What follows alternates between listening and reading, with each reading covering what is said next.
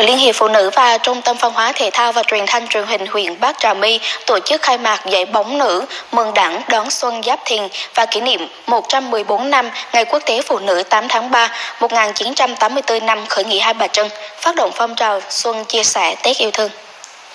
Tham dự giải có hơn 150 vận động viên là cán bộ hội viên phụ nữ đến từ 13 xã thị trấn. Các đội thi đấu theo thể thức vòng tròn tính điểm. Với tinh thần giao lưu học hỏi, các đội tham gia thi đấu đoàn kết, tinh thần thể thao hết mình. Các đội bóng đã cống hiến cho khán giả những đường truyền bóng đẹp mắt. Giải bóng truyền là hoạt động thể thao thiết thực nhằm chăm lo đời sống tinh thần cho cán bộ, hội viên Hội Liên hiệp Phụ nữ huyện Bắc Trà My, động viên khích lệ cán bộ hội viên rèn luyện sức khỏe, ý thức, tác phong công nghiệp, xây dựng nếp sống văn hóa, tạo sự đoàn kết gắn bó trong cơ quan đơn vị.